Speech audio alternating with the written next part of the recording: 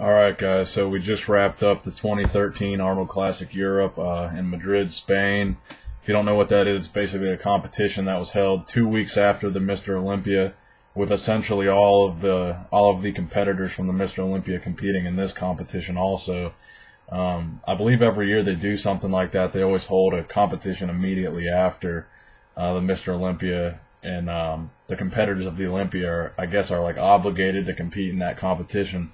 Um, so basically, the results were essentially the same as the Olympia as far as the top four go. Uh, Phil Heath, number one, Kai Greene, number two, Dennis Wolf, number three, Shawn Rhoden, number four. Uh, Jay Cutler did not compete in this competition, so that moved um, Victor Martinez up. Oh shit! So it looks like um, Dexter Jackson didn't compete either. So Victor Martinez got fifth, um, I don't recall what he placed in the Olympia, but Victor Martinez moved up and got fifth. Roelly Winklaar moved up a spot and got sixth. Uh, he got seventh in the Olympia, so he basically moved up a spot because of Jay Cutler being absent, since Jay Cutler got sixth uh, in the Olympia. Um, so it looks like uh, the results were pretty much the same. Tony Freeman moved up quite a bit. Tony Freeman came in seventh. Um, Brandon Curry moved up. He got eighth. Lionel Beyeke moved up one spot. He got ninth. I think he got tenth in the Olympia. And then the rest are uh, tenth place is Fred Smalls, the dude with the huge arms. Um, let's see who else is in here. Now there's a guy. Uh, I'm not. I'm not a big fan of this guy. There's a guy from Russia, I believe. His name's Alexei uh, Alexei Lesukov, and I'm sure you guys have seen this dude. He's the he's the really young guy that's got really big ass tits. Like he's just got some huge fucking boobs. Like he's just really young and his chest is huge, but they just look like boobs. Like they don't look right. And I just don't like his physique. He's just really uh he's just really puffy and his uh to me his hamstrings and his quads and and just from the back so so his hamstrings and his glutes mainly I guess from the back they just look way too big for his physique like the proportions just look wrong his upper body just doesn't match his lower body from the back. Like It just it just makes him look weird.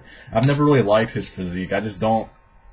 I think he's uh I think he's moved up to the pro ranks a little bit too quickly, and I think he's he's stepping on stage with these guys that he's not even near their caliber of, of bodybuilder, and he's just stepping on stage with these guys way too soon. He doesn't even he doesn't he doesn't even compare with guys like Phil Heath, Kai Greene, Dennis Wolf.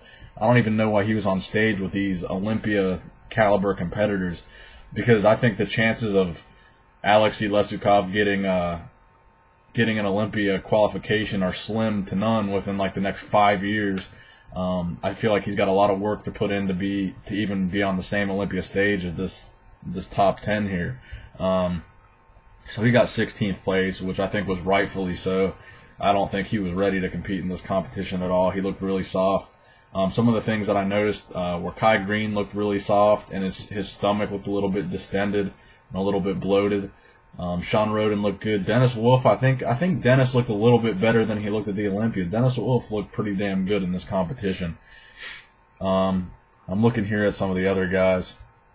Roelly Winklaar looks fucking great, but you can see in the shots where he's compared next to Phil Heath, uh, you can see how he's got a lot of work to do to catch up to the caliber that Phil Heath is on. Like a lot of people will say, you know, Roelly Winklaar's got some of the best arms in the business, but some of those shots next to Phil Heath, man, you could just tell the difference in Phil Heath's arms. His shoulders were so much rounder and fuller um, than Roelly Winklaar's, and his triceps and his biceps, just everything was fuller, uh, shot for shot, next to Roelly Winklaar. Um, so I think Roelly Winklaar has a little bit of work to do to move up in the ranks to get to a to a top three contender status because Phil Heath is definitely in an unbeatable mode right now. I don't know if a lot of you guys knew this or not, but Phil Heath has never won an Arnold Classic, so this was the first Arnold Classic that Phil Heath has ever won. Um, so I hope you guys enjoyed the video. I hope you guys enjoyed my little contest coverage for you guys. So again, that competition was called the Arnold Classic Europe, and it was held in Madrid, Spain, today, Saturday, um, October 12th. So I hope you guys enjoyed the video. Give it a like and uh, subscribe.